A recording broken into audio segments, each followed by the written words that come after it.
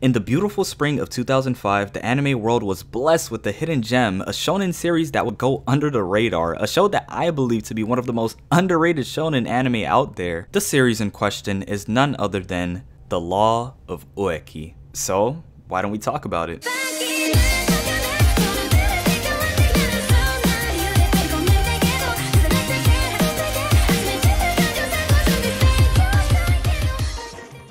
Know, I really do feel like I'm the only one in the world who knows that this awesome series exists, and I'm sure we all have an anime like that, and this is definitely that anime for me. Now, I actually finished watching The Law of Ueki back in late January of this year, and it really did become one of my all-time favorites so fast, like it's really good. People like to come at Studio Dean for being a hit or miss studio, but in all honesty, they really killed it with this one. 51 episodes of pure goodness. And before I lay down the synopsis, what makes this show underrated to me is the fact that I've never heard of it before I started watching it, so I don't know. Again, this is one of those series where I just felt like I struck gold, you know? So basically, you're following the daily life of our boy Kosuke Ueki, a middle school student who acquired this power to turn trash into trees. Where did this odd power come from and what will he use it for, you ask? Well, in the celestial world where there's this tournament to decide who the next king will be, there are 100 celestial beings known as god candidates who must find a middle school student down on earth to give a specific power to. These middle school students known as power users must use their powers to battle each other and progress through the rounds in order for their candidate to be picked as the new ruler. Whoever wins this tournament will also be granted the blank talent which allows the power user to pick whatever kind of talent they want, but the issue here is that there are some power users who are more likely to use such a reward as a way to bring harm to the world,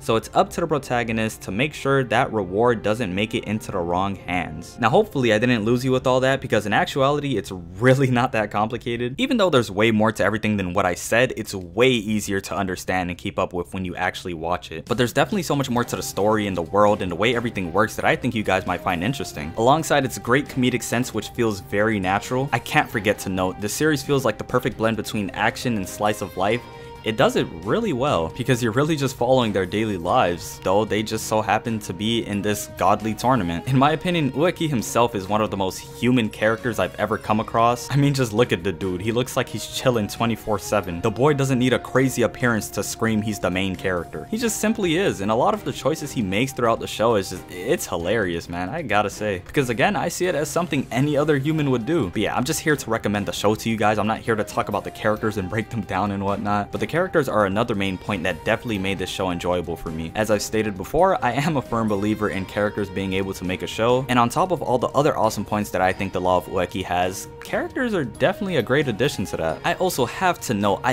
love the art style. The art is so nice. I've also said this before, so you guys may know that my favorite era of anime is the early 2000s and the mid 2000s, and you know, The Law of Ueki is in that range. So of course, when I saw that distinct art style and just the, the blend of of the time period and how animation was, it, oh, perfect, man, perfect. Speaking for the animation itself, I also find the animation to be quite good. There's also a really nice soundtrack. Every song fit its specific scene perfectly, and from soundtrack to opening, the opening is amazing. I'm holding back on singing it right now because I want you guys to experience it firsthand. It is good. I always catch myself singing it out of nowhere. It's so catchy, and I gotta say that goes for both openings. It only makes sense for a really underrated anime to have really underrated openings. But all in all, The Law of Ueki is an amazing anime that I've actually never heard anybody talk about before and you know, I just wanted to bring it to light a bit more, you know? I'm sure there are people out there who have talked about it, I've just never heard anybody talk about it. Maybe one of you watching this video have seen it, you know? I mean,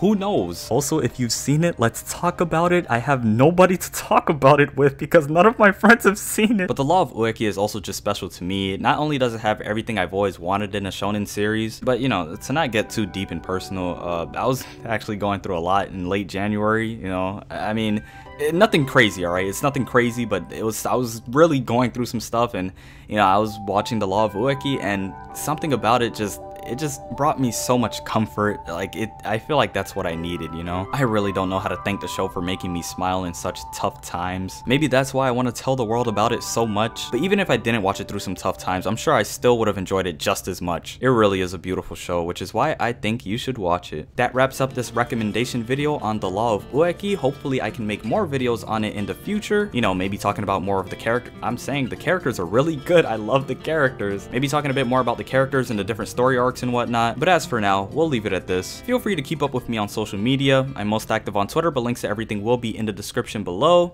It's been Otaku Dreams, and that is all she wrote.